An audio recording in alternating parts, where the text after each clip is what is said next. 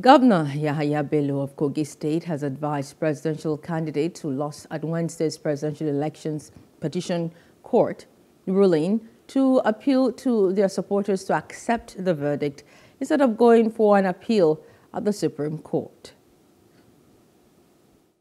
Happy? And the truth is out there. We appreciate all the um, all that happened yesterday. The truth has been exposed. Imagine the justices sitting down for almost 14 hours to deliver that landmark judgment yesterday. Nigerians within the country and in diaspora are happy. We are happy. I think it is time to settle down and face governance.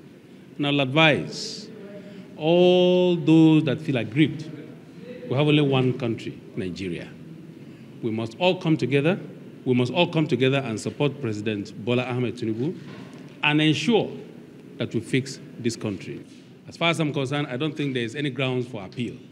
I would rather appeal to them that they should drop any appeal going to the higher court and then save the resources, save the troubles, advise their supporters, admonish them that we should accept yesterday's judgment, no flaw.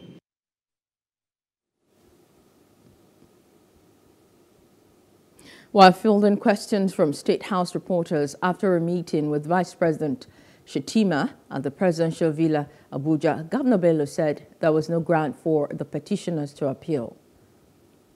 Democracy in practice. And uh, they have right of appeal. And I think they will take the appropriate step to ensure that no violence is orchestrated anywhere we follow the due process of the law, then we abide by it. But I want to assure you that even judging from yesterday's pronouncement at the appeal court, we are going to have our three over three Senate in Kogi State, I can assure you. Hello, hope you enjoyed the news. Please do subscribe to our YouTube channel and don't forget to hit the notification button so you get notified about fresh news updates.